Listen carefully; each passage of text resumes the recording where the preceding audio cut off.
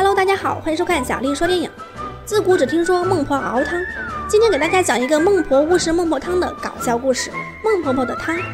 灰暗的天空下，一个僵尸站在自助贩卖机前，他投了币，等待着自己要买的孟婆汤。可是自动贩卖机前却显示货已售空。僵尸太想念这一口了，他坚持等待着孟婆补货。而远在地底下的孟婆也被僵尸所得的金币给叫醒了。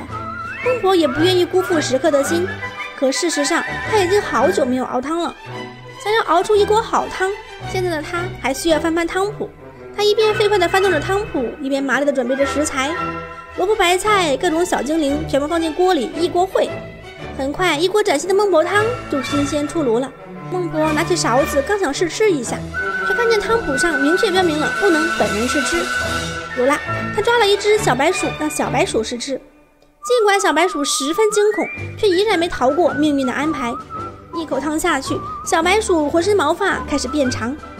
第二口下肚，小白鼠的手脚开始变形，而且开始褪毛。小白鼠都快吓尿了，不知道自己会死在哪一个环节里。可孟婆却不服输，她一次又一次的失败，一次又一次的尝试。小白鼠想说：“合着受罪的不是你呀？”僵尸在外面已经等到困了，孟婆的汤却还没有成功。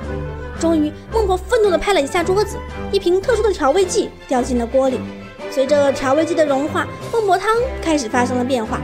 瞬间，一股色香味俱全的孟婆汤就做好了。孟婆激动极了，抓起勺子就试吃了一口。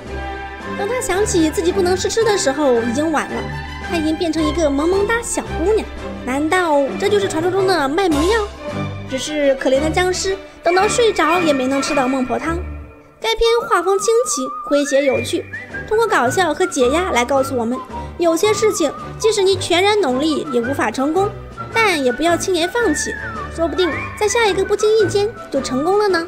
感谢观看本期视频，如果你喜欢我们的节目，请关注及订阅小丽说电影，我们下期再见喽。